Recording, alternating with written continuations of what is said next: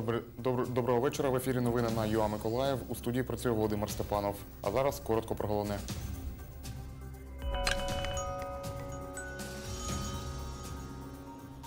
Особовий склад підрозділів 79-ї окремої десантно-штурмової бригади повернувся з зони проведення операції Об'єднаних сил. Для восьми хворих дітей сьогодні здавали кров військові Національної гвардії України.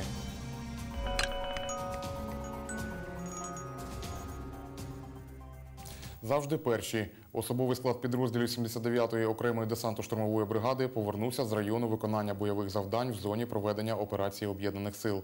Військовослужбовці знаходились там 8 місяців. 21-річний Сергій Самойлов вже вдруге за півтора року служби в 79-й бригаді повертається з Донбасу. Говорить, з дитинства мріяв бути військовим. Радий дуже і все. А так нічого не можу, дуже емоції. Чого 70 бар'ял? Чи з Херсона? Ну я учився, я во Львові учився в військовому коледжі при Академії національних. І потім ну, хотів типу, піти туди дуже сильно. Мені було 19 років, як я тоді попав. І, ну і щоб додому ближче було 79-ку вибрав. Не жалкує. В Авдіївці був в Новоселки, де Кам'янка там. Ну, стріляли чуть не так, як тут. Тобто цей раз вогонь був більш посилений? Ну так. Да. Той раз був два з половиною місяця, а цьому раз почти 8 був. Зустрічала свого єдиного сина Лариса Самойлова. До Миколаєва жінка приїхала з села Великі Копані Херсонської області. Ждали ми його, звісно, дуже боляче це було е, з радістю. Вся сім'я його ждала, все село ждало, всі переживали за нього, всі його друзі. Якщо з ним не було зв'язку, то е, з ходу вже дзвонили його друзям. Ну, дуже, дуже переживали. Лариса Самойлова каже, військовослужбовців підтримували не лише словами. Всі е, мої друзі, всіх працівники, всі, хто міг села, допомагали волонтерством. Ми передавали продукти в зону АТО. Ну, що могли, солодощі, всі допомагали. Новою почтою, через херсонських волонтерів. Ми постійно передаємо продукти. Постійно. Не тільки в 79-ку, але ми, ми із 14 року, з початку антитерористичної операції, ми постійно передаємо.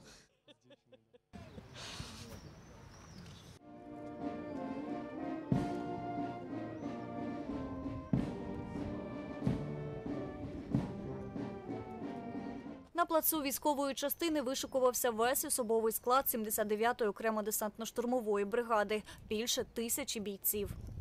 метою вшанування загиблих воїнів, а також п'ятої річниці загибелі воїнів-десантників та льотчиків 25-ї повітряно-десантної, а також 25-ї транспортної бригади бойовий прапор України приспустити.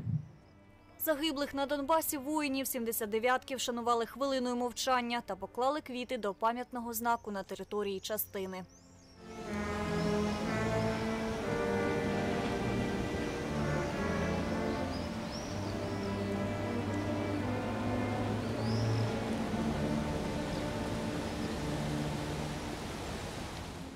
Кращих бійців бригади нагородили нагрудними знаками, зокрема козацькими хрестами та хрестами Святого Миколая. Ми були на Маріупольському напрямку. Не можу вам казати всі е, місця, де ми знаходились. Але в Маріупольському напрямку від е, Широкиного, скажімо так, і туди аж до Гнутового, скажімо.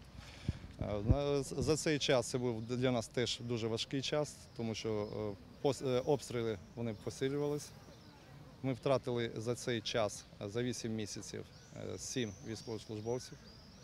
На превеликий жаль, що серед них є і військовослужбовці, які були до нас прикомандировані. Всього, починаючи з 2014 року, під час виконання службових обов'язків на Сході загинуло більше 60 військовослужбовців 79-ї бригади. Головне, що ми е, змогли відібрати у агресора його зброю, щоб е, всьому світу показати, що е, це агресор, бо е, виробництво цієї зброї вже було при Російській Федерації. Буде відпустка у військовослужбовців, ну, звісно, по графіку, тому що вся військова частина не може йти у відпустку. Але вже всі з піднятим настроєм, бо вже всі вдома.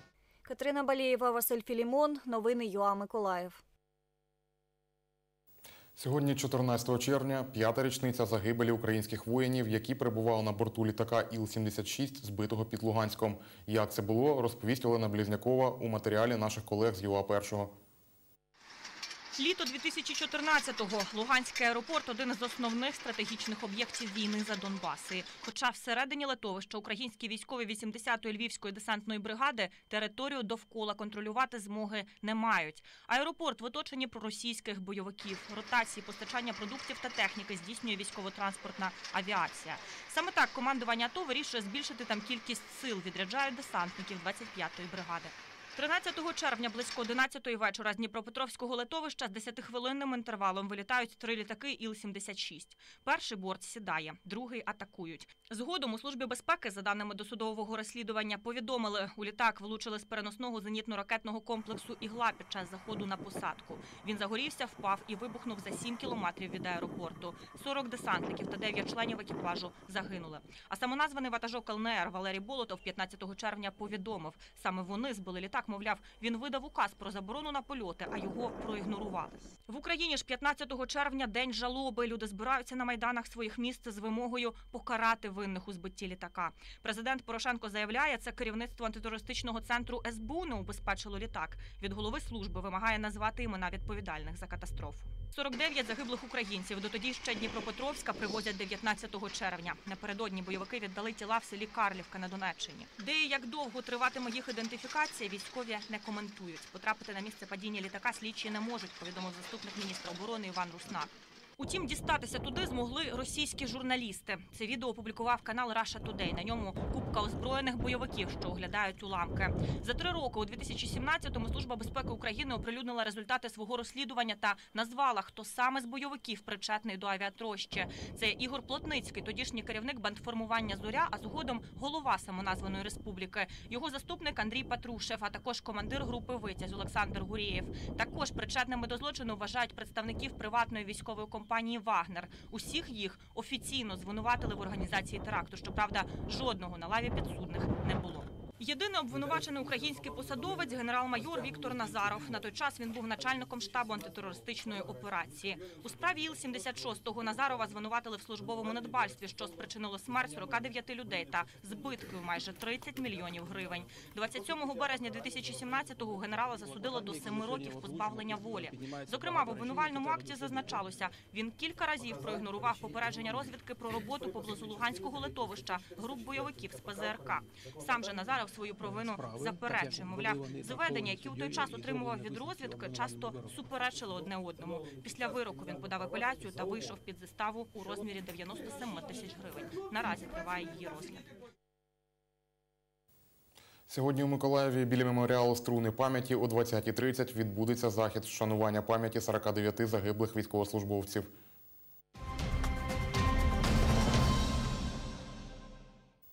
Сьогодні у Миколаївській обласній станції переливання крові військовослужбовці військової частини 3039 Національної гвардії України здавали кров для восьми дітей, що лікуються у відділенні онкогематології дитячої обласної лікарні.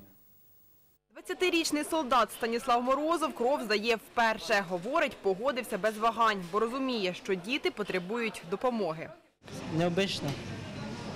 Тепло по руки йде. А так нормальне ощущення. Якщо потрібно, я буду ще приходити здавати кров. І не раз. Як ваші відчуття? Ви ще повинні посидіти 10 хвилин по правилам. Будь ласка. 28-річний капітан Дмитро Горбачик, заслужений донор України. Кров здає 56-й раз. Говорить, вважає своїм обов'язком допомагати людям. Це, мабуть, те, що щось з душі, те, що моя кров, моя частинка допоможе врятувати якусь дитину. В цьому відділенні е, в онкологічному зараз знаходиться на направленні, коли ми, я читав, там було і 4 рочки дитині, і 7 років дитині. Здавали кров 35 військовослужбовців контрактної та строкової служби. Дмитро Горбачик, речник Національної гвардії України, говорить, охочих здати кров було більше. Але ж ну, буде декілька партій, і не всі, тому що ми виконуємо службові бойові завдання не тільки в місті, а ще й поза містом, таке як Коблево та військове стрільбище, яке зараз знаходиться на навчальному зборі.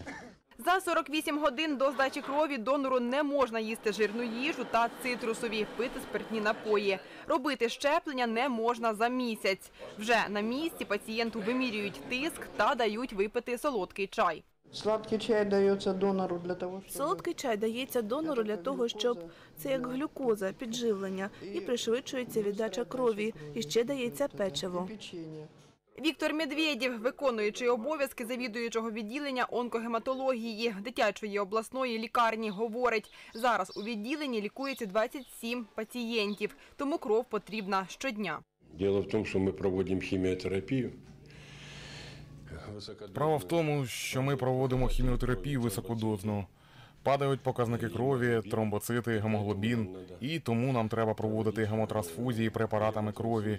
Та кожен донор нам вкрай необхідний. За рік до Миколаївської обласної станції переливання крові звертається близько 10 тисяч донорів. Одна людина здає 460 мілілітрів крові. Рідкісні групи крові першої групи, другої та четвертої. Донори є теж. Вони здають. Кількість їх менше і невеликий відсоток їх йде. Але тим не менш запаси ми поповнюємо. У нас вони є. Ось за рахунок людей, які приходять. Вікторія Андрушків, Юлія Кускова. Новини ЮА Миколаїв. На цьому у мене все. Більше новин дізнавайтесь у нашому наступному випуску о 19.00. До зустрічі.